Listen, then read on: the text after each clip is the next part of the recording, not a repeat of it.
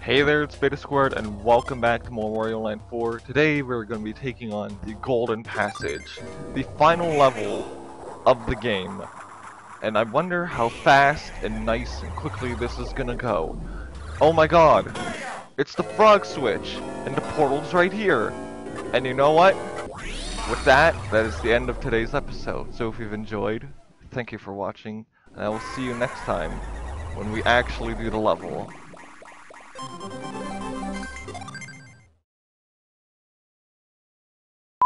Hey, welcome back.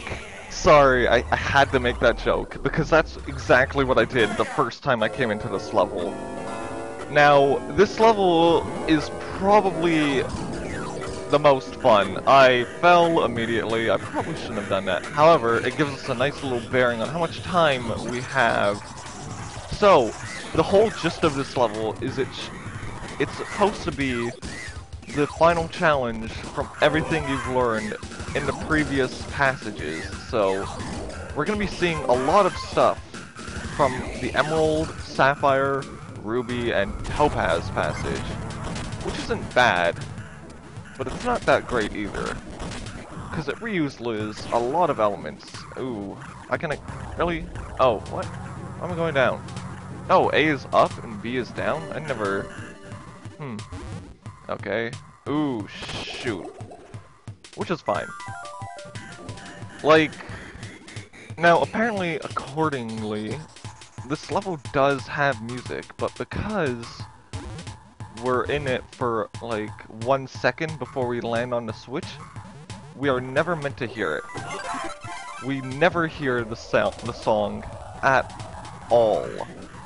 And the song is actually really familiar. If you hear its first beat, then you know what it would be exactly.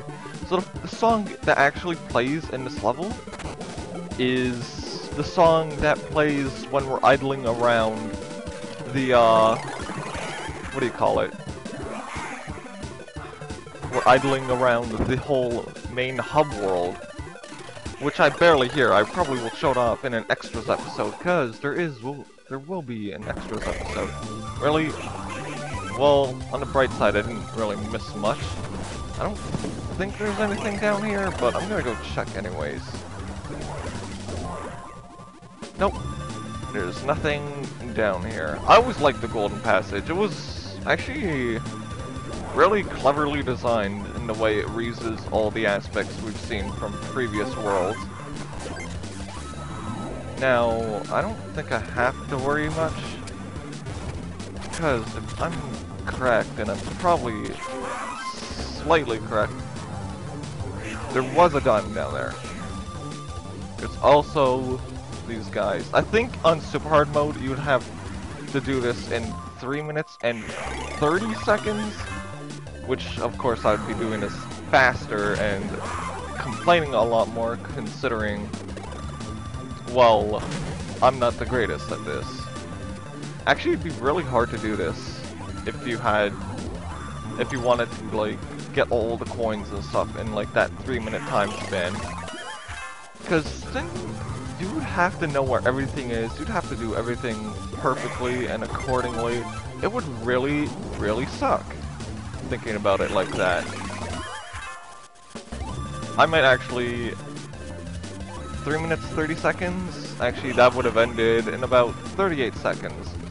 Because I'm not fast in this, so what do we have to do? Okay. Do not want to fall, because this is our exit. I'd probably have like 20 seconds to do this. Holy Jesus. Like, holy Jesus. That would not be fun for anyone. There are there is no disc in this level, thankfully. I need you. God Damn it, old man. What are you doing in here? Alright. Actually, this is the actual end of the level too, because if we go into here, we just uh, jump, jump, and there's Keyzer, which isn't too bad, because he's actually very close to the end. Actually, that is the end, because we we already hit the frog section. Now we just have to go all the way back.